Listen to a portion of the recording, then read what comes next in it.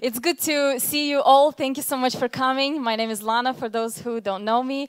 Uh, today, we're going to talk about something very practical, but it's as, as spiritual as it gets our bodies because God created our bodies. We have a special healing service this morning with communion, but I am sure that you can agree with me that health is better than healing. Because for us to be healthy means we don't have sickness. And we're going to focus this morning on. Um, I'm going to focus my speech on, on health. And then we're still going to pray for healing today. Amen?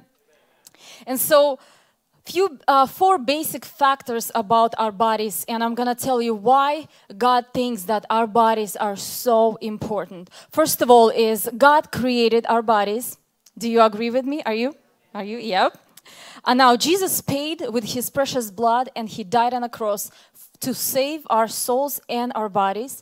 The Holy Spirit, He lives in our bodies. He chose to live inside of us. And at the end of the day, God will resurrect our mortal bodies after we die. And that's all scriptural. Now, what we do with our bodies will affect everything else that we do. It's gonna, uh, our physical health will affect our mental, emotional, financial, relational, and everything else that we do in our lives.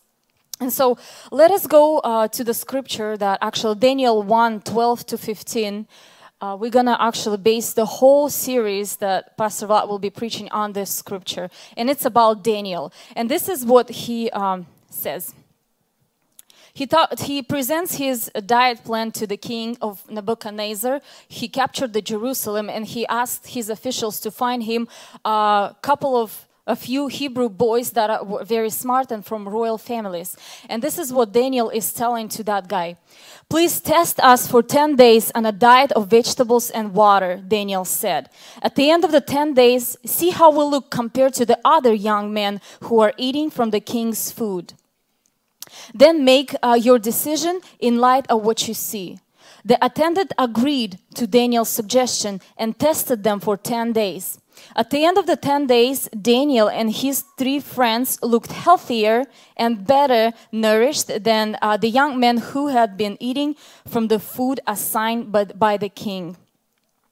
And that we, uh, many of us, we know the story of Daniel and how he was brilliant, brilliant guy, and he ended up serving uh, at the king's court. And this is the proof how diet shapes our destinies. It shapes where we're gonna end up. Amen. And uh, let let me tell you that Eve's diet brought calamity to the whole world it had to do with what she was not supposed to eat. Now, Esau was robbed of his blessing because he gave away what he was supposed to eat. And now we know that Jesus was also tempted in the wilderness with food, but he did not blow that test. Amen. He did not eat what he was not supposed to. And I want to present four practical goals that we would like to keep this year. And I'm going to encourage every single person. It's so simple. And I know we've heard it so many times, but please don't check out. Write it down if you need to. Four simple goals. Number one, is drinking water. We all know that uh, most of our body is made out of water. And uh, we know that water is so important for the body. And this is the benefit. Here are uh, benefits of drinking water. It reverses fatigue, improves mood, treats headaches and migraines, helps in dig digestion and con con constipation, uh, aids weight loss, uh, flushes out toxins, regulates body temperature, promotes healthy skin. And I'm gonna stop for a second, ladies. If you're buying expensive, expensive creams, and I know one lady told me that recently, but you are not drinking water, it's useless because your skin needs water before it needs an expensive cream. And then uh, prevents joint pains and arthritis and increases your metabolism. This is what water does to your body. Goal number two healthy eating. We know that the Bible says that gluttony is sin. Overeating is sin, actually. And we see the examples that Eve, Esau, Israel, Sodom, and Gomorrah, they pretty much ate themselves out of the blessing. And Jesus was tempted with food, as I already said. And uh, here are some of the most unhealthy foods. It's uh, high sugary foods like cereals, high sugary cereals, and then uh, coffee or other sugary drinks, canned soups, ma margarine, sodas, processed lunch meats, frozen french fries. And let me tell you one story. I have a friend, and she's here. She allowed me to share this story, but I'm not going to mention her name. Uh, she lost 50 pounds in one year. One time she looked at herself and she's like, oh my God, what happened to me? She gained a lot of weight and she was not happy with that. And she decided to do something, but she didn't go all crazy like cold turkey on everything. She just made small steps and she saw a progress and she lost 50 pounds a year. And this is what she did very simple. She started to watch what she ate less sugary stuff, less processed foods, and she started to commit about 10 minutes a day of walking and biking okay? And that's all she did. And her body responded right away with that consistency throughout the year, and 50 pounds was gone. I was like, wow, I can't believe that. it's so easy. Come on, let us put, put our hands together for that girl. I'm so proud of her. Goal number three active living. And here's the secret. Uh, many of us, we're so afraid, and me including. I am so afraid because I hate running. I most of the exercises I just can't stand them, okay? And I discovered the secret is that you have to find something that you love and do it.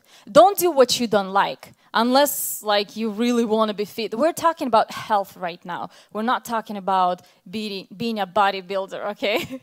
and so find something that you love to do. It could be swimming, it could be exercising, it could be running, hiking, biking, it could be walking, anything. For example, I love to roller, roll, rollerblade. And every single summer when it's warm, almost every single day, I go rollerblade. And I enjoy that. And I see how I feel after that. I, my mind feels sharper. I feel really good. I have energy. And it's just finding something that you like to do. And this, here are some benefits of exercising. Exercising, number one, gives energy. And let me tell you something. We cannot do anything with our bodies if we don't have energy okay? We cannot take care of our family, like Pastor Vlad mentioned. We cannot properly work, function, think anything. And when you give energy, you actually receive energy back. It's not when you're just like doing nothing on a couch or sitting. No, it's when you give energy, you receive energy back. And this is important. Now, it boosts our brain power, melts away stress, controls weight, fights uh, off sicknesses, creates stronger heart, reduces aging, improves eyesight. And now that's only eight that I mentioned, but I'm sure there's a lot more than that.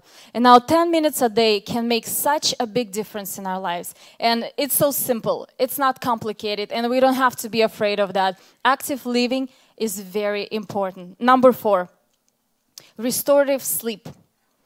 The best sleep for your body is between 10 p.m. and 2 a.m. This is where your body rejuvenates and restores itself the best.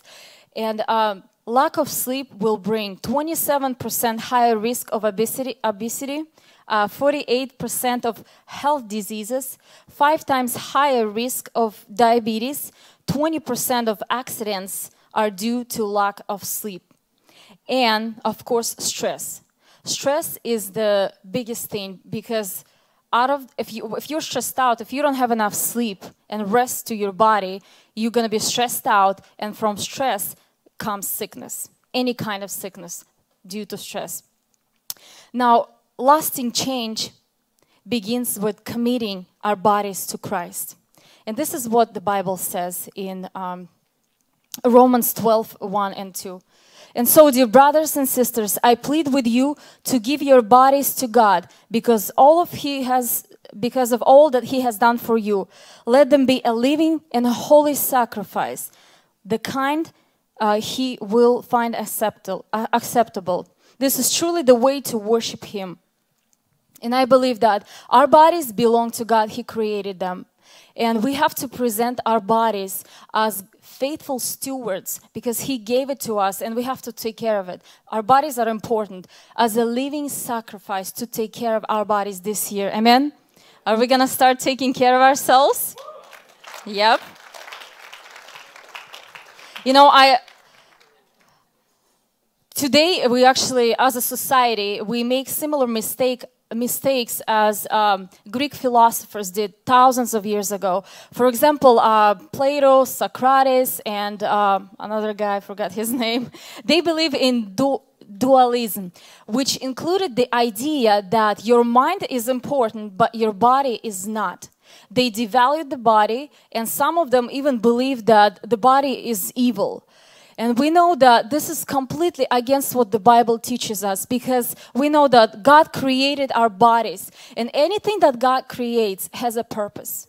And so when we choose today a healthy living and taking care of our bodies, we actually are setting ourselves to fulfill the purpose that God has created us on this earth. Amen.